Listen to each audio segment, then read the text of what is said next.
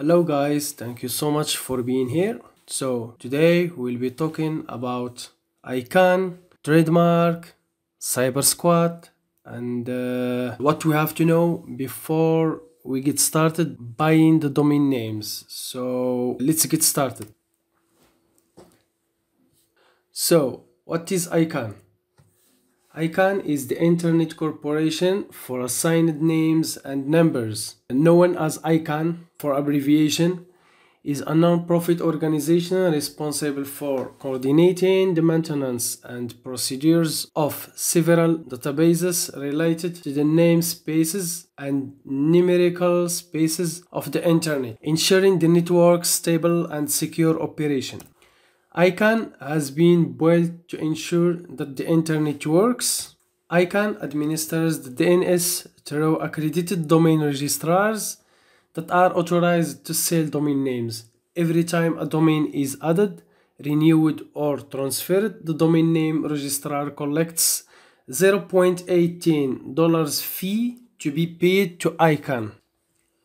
All registrars must follow the Uniform Domain Name Dispute Resolution Policy, often referred to as the UDRP. Under the policy, most types of trademark-based domain name disputes must be resolved by agreement, court action, or arbitration before a registrar will cancel, suspend, or transfer a domain name. Disputes alleged to arise from abused registrations of domain names, for example cyber squatting, may be addressed by expedited administrative proceedings that the holder of trademark rights initiates by filing a complaint with an approved dispute resolution service provider. So what is cyber squatting?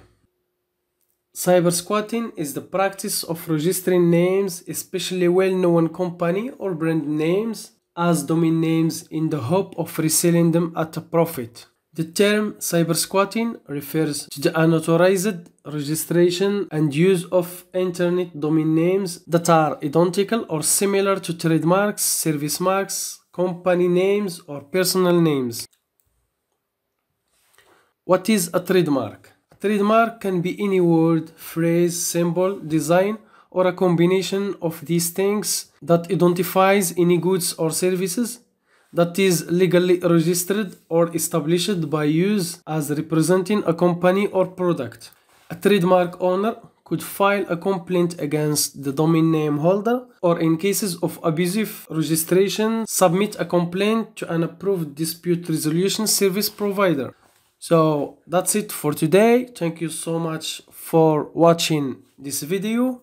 See you in the next video. Mustapha was here, MrFullTime.com.